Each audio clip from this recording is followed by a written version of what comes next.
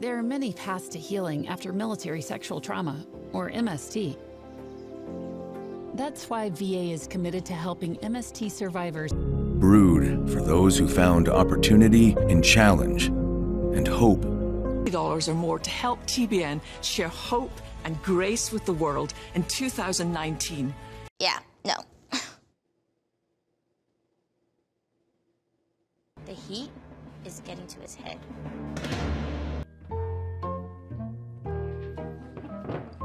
As a child, Amy Jimenez always hated games.